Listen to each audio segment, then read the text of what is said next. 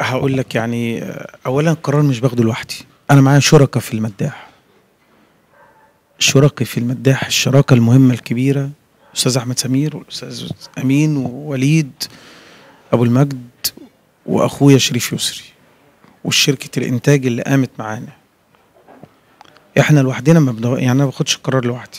أنا بحس إن خلاص المخرج والمؤلف اللي هم بنوا أو أو يعني المداح ده أنا بعتبره ابنهم زي ما هو ابني. ف الأسطورة دي أو الجزء اللي جاي ده هيفيدنا ويبقى تمام ونحافظ على إيه، كيان البراند بتاع المداح ده نحافظ عليه تمام. مش هيفيدنا لا إحنا نستنى ونعمل حاجة تانية وعقبال ما نلاقي فكرة حلوة نعملها. نحمد ربنا مش حكاية رمضان أنا بتكلم ك ك كشخصية المداح وكشخصيه الفكرة و... لأن هو الميزة في المداح بالأمانة مش عشان إحنا اللي عاملينه والله إن أنت طول الوقت أنت بتبقى مختلف عن الناس كلها.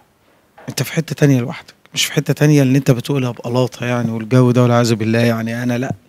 هو فعلا مسلسل مختلف لوحده ما حدش بيعمل ماشي في ال- في ال- في الخطوط بدأوا مؤخرا في في المسلسلات اللي على المنصات بدأت تتعمل مسلسلات من الشكل ده رغم إن كان كانوا من سنتين ثلاثة تعرض عليهم عمل زي ده يقول لك لا مش عايزين الحاجات دي. يعني تعرض عليهم الحاجات دي يقول لك لا لا لا لا.